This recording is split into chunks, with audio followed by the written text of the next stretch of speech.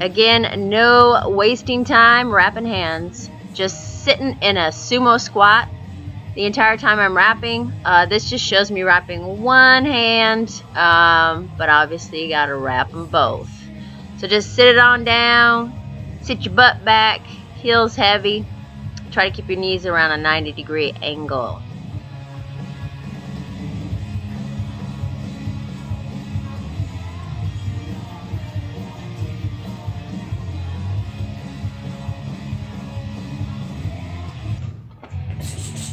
Some shadow boxing here. I'm warming all the way up. Warm my legs up a bit with the sumos and now warming that core, the arms, uh, pretty much everything else. I like to move around a lot when I'm shadow boxing, so lots of footwork.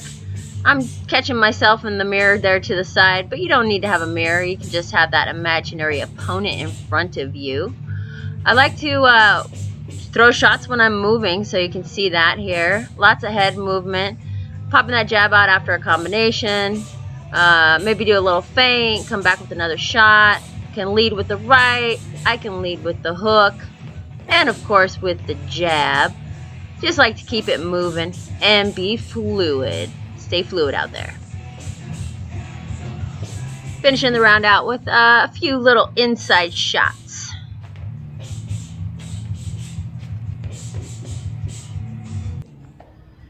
Here we go with those sliders again. Uh, looks like I have some, I can't tell if those are actually 15s or 20s. I use both.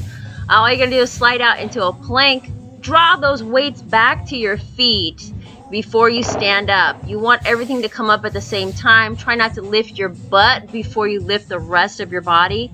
If you lift your rear end first when you're standing, you're to start to use your lower back, and we do not want to do that. So keep that chest out, chin straight forward, and make sure when you curl, you're keeping your elbows in on the up and the down.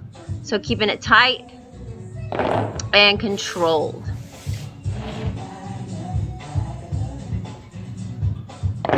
Make sure those hexes are sitting straight on the floor so they don't wobble.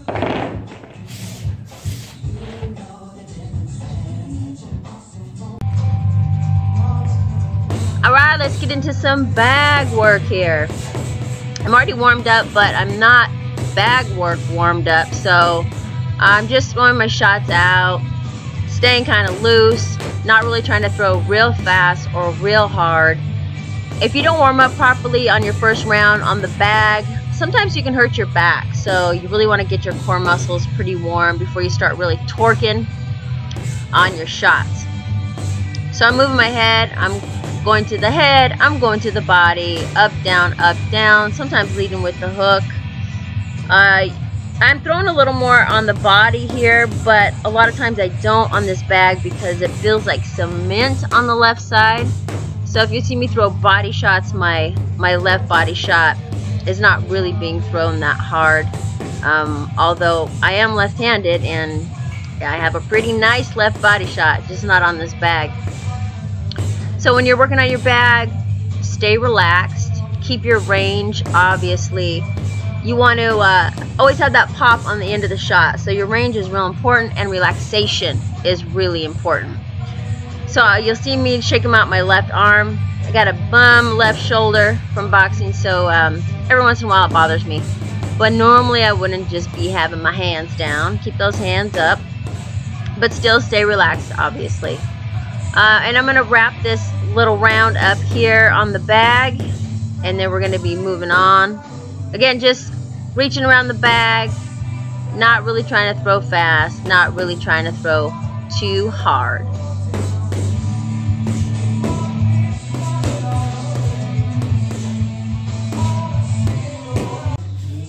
Oh, the sliders are back in action here.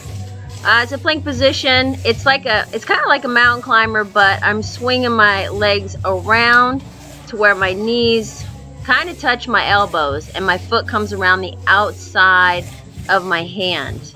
Uh, so I don't know what, I'm not sure what we call these. Um, they look like Komodo dragons to me. Maybe that's what we can call them. Call them Komodos.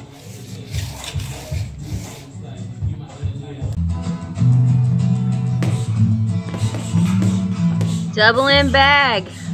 Love putting this in my workouts. Um, it's really a lot about accuracy and turning your hands over, keeping your core real tight and arms really relaxed. The thing with this bag is that even if you don't hit it perfectly right on, you can always still straighten it out if you need to. Uh, so if it's moving left to right, for instance, for me to straighten it back out, when it moves to the right, I'm going to throw my shot and slightly come to the right of the bag. So that way it pushes it back to the left. And then it just evens it out and makes it come straight again. Uh, you hit your punching bag similarly. Like if you if you're hitting your bag and it starts to spin or move left to right, you can do the same thing. Uh, if your bag is spinning though, just know that um, on your heavy bag anyway, that it's uh, that you're throwing off to the side, so you don't really want it to spin.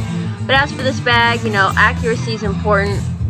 You can move your head as you're working on the bag generally won't hit you unless you try to make it hit you. Uh, you have to get pretty close to it to try to make it hit you. So again, just uh, getting the shots out, relaxed in the arms, tight in the core, and uh, yeah, I mean that's about it.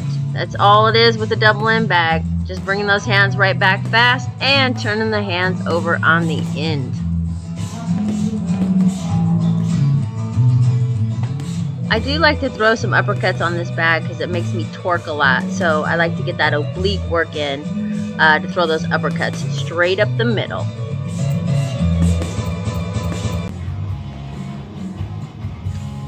More bag work here. Speeding up just a titch at the beginning of the round. I'm working a little bit more with my left uh, hand today and which is probably why my shoulder was a little agitated. Uh, but I'm trying to throw maybe a double left, so maybe a body shot and then a hook, or a body shot, uppercut, whatnot. Um, also, as I come in, if I'm going to come to the body or I'm going to come in for an uppercut, you'll see me do like a slight dip as I'm coming in. So you'll see me dip slightly. And that's because if you're going to come in with a shot like that, without coming in with a jab, you're going to have to move your head to get inside. So uh, even if it's slight, you got to move that head.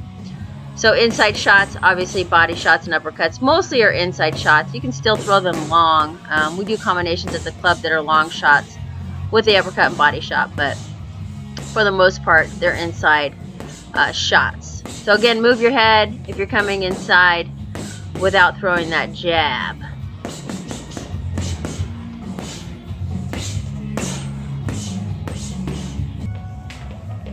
What's boxing without jumping rope? Well, it's just not boxing. Doubling up here, yep, not double unders. Uh, boxing, we call them double ups. If you mess up, just get right back on it, side to side, and right back to it. Flick the wrist, stay relaxed in your wrists, in your forearms, and jump high as both rotations come underneath your feet. And uh, yeah, don't bend your knees too much. Just jump up, stick your hips back, and stay relaxed.